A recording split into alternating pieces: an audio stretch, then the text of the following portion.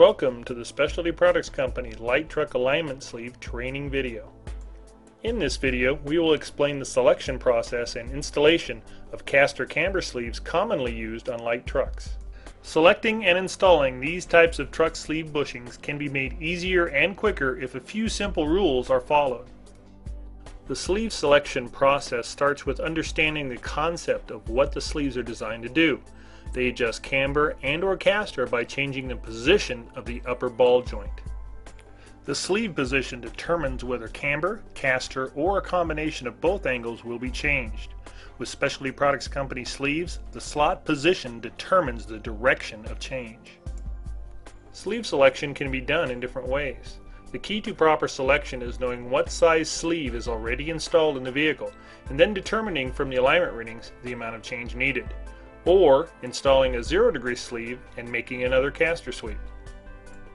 To be able to read the size of the sleeve already installed in the vehicle, it usually has to be removed.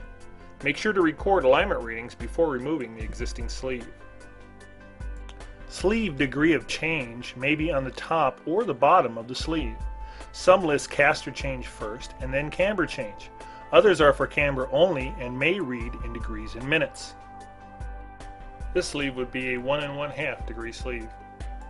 If the sleeve has no marking or you are unsure of the position of the sleeve, install a 0 degree sleeve and take another cast reading. This way you know you are starting from a center position. Proper sleeve selection can now be determined by the alignment readings. The amount of change is controlled by the size of the sleeve selected. Sleeves range from 0 degrees up to 2 and 3 quarter degrees in change. Some give even more change for specific applications.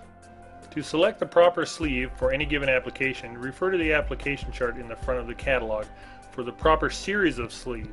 Then select the size in that series to achieve the desired correction. Different sleeve series are retained in the axle in different ways. The 23100 series has eight lugs and is retained in the axle by two opposing tabs. The 23130, 23220, and 23230 series of sleeves, used mainly on Ford Super Duty trucks, has an eight-sided head that lays flat against a ledge on the axle to keep it from rotating. All of these series of sleeves use the upper ball joint nut to retain the sleeve in the axle housing. They also have only eight positions in which the sleeve can be oriented. This can be set to give all caster, all camber, or an equal split of camber and caster depending on the position of the sleeve. On these sleeves, the basic rule is that in the split position, the sleeve will give approximately two-thirds the amount of change listed for both camber and caster. For example, a 1 degree sleeve placed in one of the four split positions will provide 0.7 degree camber and 0.7 degree caster change. Another example would be if 1 degree positive caster and 1 degree positive camber change is needed.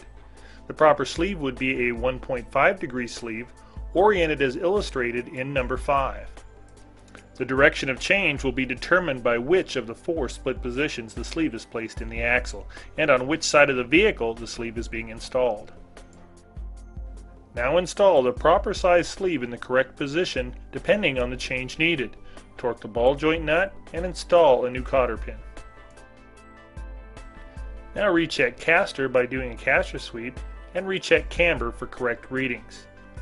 Adjust toe and road test vehicle. Another common type of sleeve uses a pinch bolt to retain the sleeve in the axle housing. The stock factory sleeve of this type has a locator slot and cannot be repositioned. The 23180 series replacement sleeve can be rotated in the axle housing to dial in caster and camber. Unlike the first type of sleeve, this sleeve can be dialed in to the exact camber or caster change needed. Today's modern alignment equipment can supply useful information and help when installing sleeves. Refer to the equipment manufacturer's instructions. To remove this type of sleeve, first remove the snap ring on top of the ball joint if equipped. Now remove the pinch bolt. On all sleeves, special tools such as sleeve pullers can be used to remove the sleeve. Some instances may require the use of an air chisel to help break the taper of the ball joint.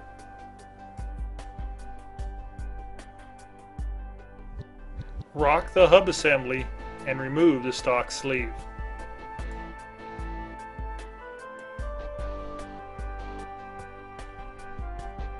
Install the selected sleeve with a slot close to where the desired change is needed.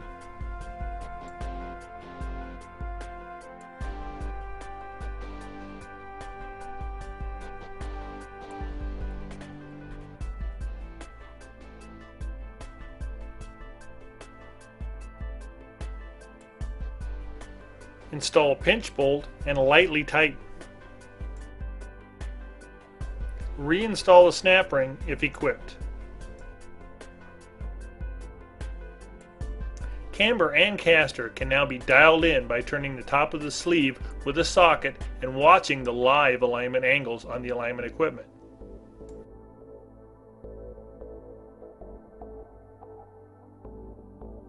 Torque the pinch bolt to manufacturer's specifications. Recheck caster with a caster sweep to make sure the sleeve is oriented in the proper position. Adjust toe and road test the vehicle.